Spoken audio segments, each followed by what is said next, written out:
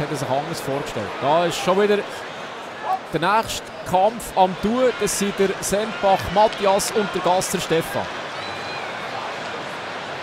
Also gerade wieder Bern gegen Innerschweiz. Die Favoritenrolle ist an sich auch hier völlig klar. Die Ausgangslage ist ein bisschen eine andere, weil der Berner Favorit im ersten Gang souverän gewonnen hat. Gasser Stefan im ersten Gang ebenfalls mit einem Sieg über den Nordwestschweizer Geschwind Michael. Hat eine 10 auf seinem Notenblatt, der Gasser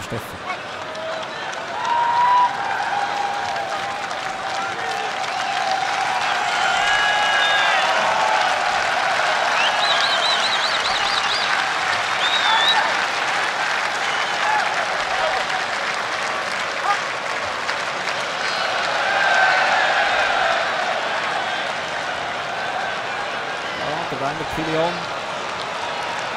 Dann ist es schon besser geworden. Riesenenttäuschung für ihn.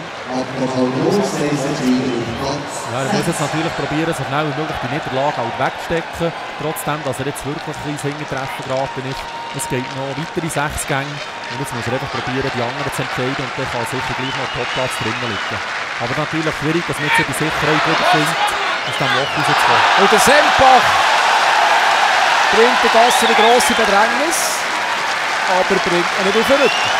Doch, der Kampf ist entschieden. Das Resultat wird geben. Sempach Matthias, zweiter Auftritt, zweiter Sieg.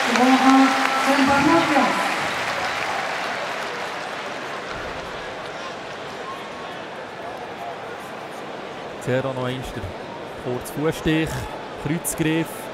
Der Gasser, der sich zuerst über die Ellbogen retten kann. Kann zurückziehen und auch jetzt in diesem Moment wird er mit zwei Drittel Abmelden gewesen sein.